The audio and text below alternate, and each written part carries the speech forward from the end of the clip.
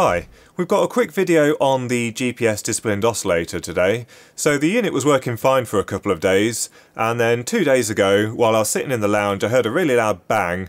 Um, I had a quick look around the house, it sounded like someone had smashed a window or something like that but I couldn't see anything um, and then didn't really think anything of it. And then I came to sit down to the computer later on that night and noticed that very characteristic smell of burning tantalum capacitors. So when I was working on the board, I did have a quick think to myself that maybe I should replace those capacitors. The unit's reasonably old, and tantalum capacitors do have a nasty habit of exploding when they get close to the end of life, or when they're used in situations where they've got a high ripple current, or just when they're used close to their ratings. So we'll just have a quick look down at the board um, and have a look at the damage. Right, so here we have the capacitor that's failed. It's just underneath the GPS receiver daughter board, and you can see it's uh, really uh, exploded quite violently. There's bits of the tantalum capacitor all over the case. The only slightly worrying thing is there's a SOT23 part just here, uh, which either looks to be slightly molten or um, there's a bit of the capacitor attached to it. I haven't been able to assess the damage yet. The unit does still work, uh, but this capacitor is on the 15 volt supply rail um, and the capacitors in the unit are all rated for 16 volts so it was already being used very close to its rating uh, something that I'd not normally do especially with tantalum capacitors. So what we'll do is we'll take the daughter board off see if there's any damage underneath because usually you get quite a reasonable flame coming off the tantalum capacitor for a couple of seconds um, and then what we'll try and do is replace all of the tantalum capacitors in the unit. Okay, so I've undone the nuts. Let's have a look to see if there's any damage to this PCB. And surprisingly, uh, no damage whatsoever. There's a little bit of darkening um, just around here, but this board seems to have uh, survived quite well. So here we have the capacitors which I'm going to replace the tantalums with.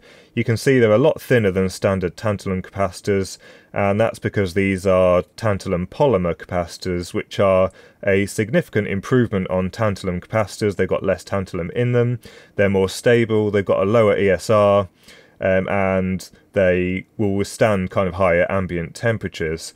In the past tantalum capacitors were very popular because they offered uh, low ESR at uh, kind of capacitances that weren't covered very well either by electrolytic or uh, ceramic capacitors, so kind of in the range of half a microfarad to 100 microfarads.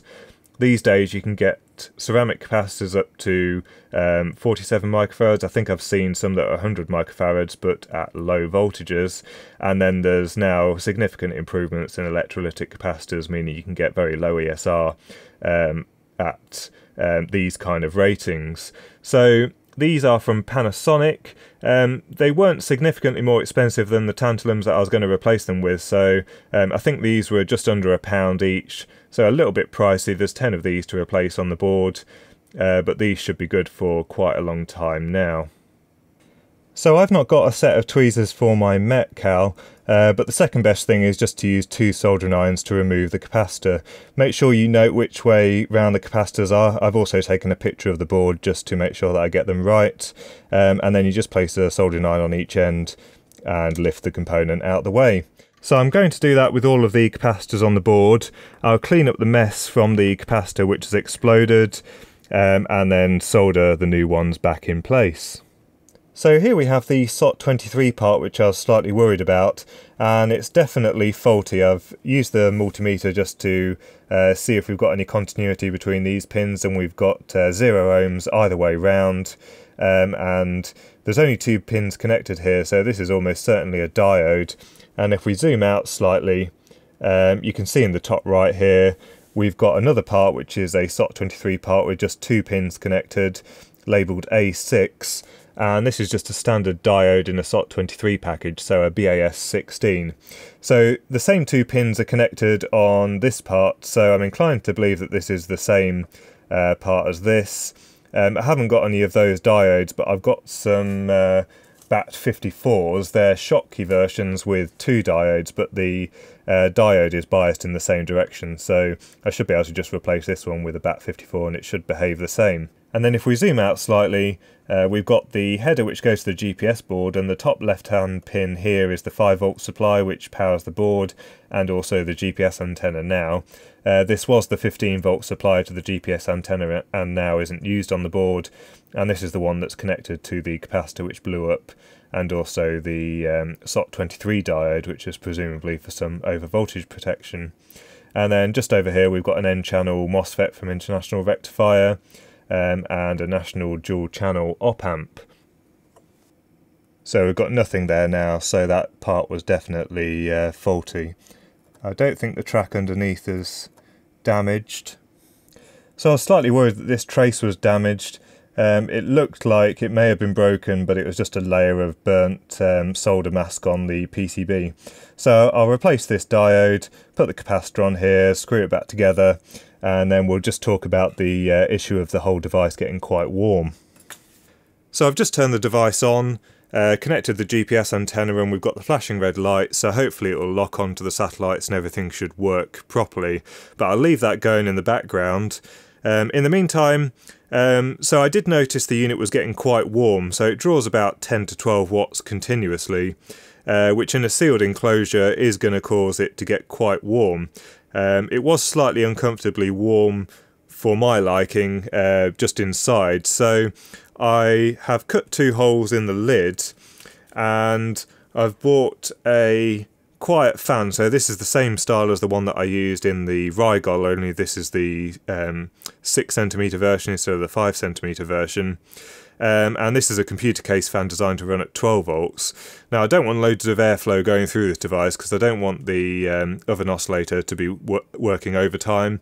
Uh, just want a little bit of airflow just so that there's uh, enough air to get out because we have got the um, power supply in there as well underneath so I don't really want that getting massively warm.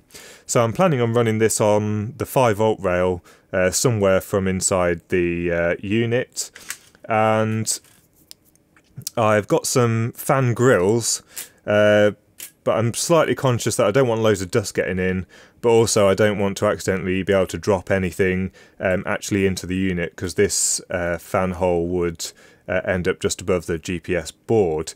So I'm going to have one intake so that we've got positive pressure within the case and that means it's not going to try and draw any dust in through any of the orifices so uh, we're only going to draw in air from uh, one fan hole blowing straight onto the DC to DC. Uh, actually, yeah, we've got a green light here, so um, it seems to be working okay. Um, but um, I don't want uh, the DC to DC to get too warm either, because that was alarmingly warm. Um, so we're going to have the fan on this side blowing down onto the DC to DC. Um, and then this one will just be left open, but just so there's somewhere for the air to get out because it's actually a sealed case. Um, I also bought these uh, fan filters, and these are also uh, EMI filters, so they're designed to block RF. Um, they're a bit crap actually. They're slightly sharp on the corners. I think they're designed to mark uh, to mount, sorry, um, outside the enclosure.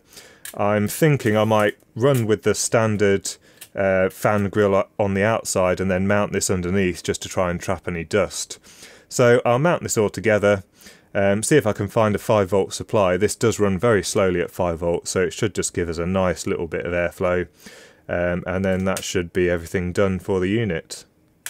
So it looks like we've locked on correctly and the device is still working. I've now mounted the fan which is going to go above the DC to DC and put the fan filters in. So now I'm just going to try and pick off 5 volts to power the fan. And it looks like we've been quite lucky. We've got the output of the DC to DC here. So I've been able to solder a header on and I can just plug the fan in there. And you can see we've got a running fan. So I'll just assemble this all back together and then I think we're done. So we've got the unit back together again now. Fortunately it all seems to be working properly. Um, it's making very slightly more fan noise than I would have liked, so I might try and find some anti-vibration mounts for the fan. Now that the lid's on, it is forming a resonant cavity, so it could be picking up one of the frequencies being emitted by the fan and amplifying it, so I might also play with the fan speed slightly. Um, fortunately, it all seems to be working. It would have been slightly annoying if we had terminal damage to the device after finishing uh, the project. Uh, but it would have prevented a interesting opportunity to design my own GPS disciplined oscillator, and it is something which I am considering doing anyway in the future, using some more um, easily available parts such as the u-blox GPS modules and then a microcontroller, uh, oven control oscillator and then a closed feedback loop to control the output. Um, so it is something I'm thinking of doing if there's any interest. Uh, but if you enjoyed this video, please give it a thumbs up. If you didn't, give it a thumbs down. Uh, subscribe if you haven't already, and thanks for watching.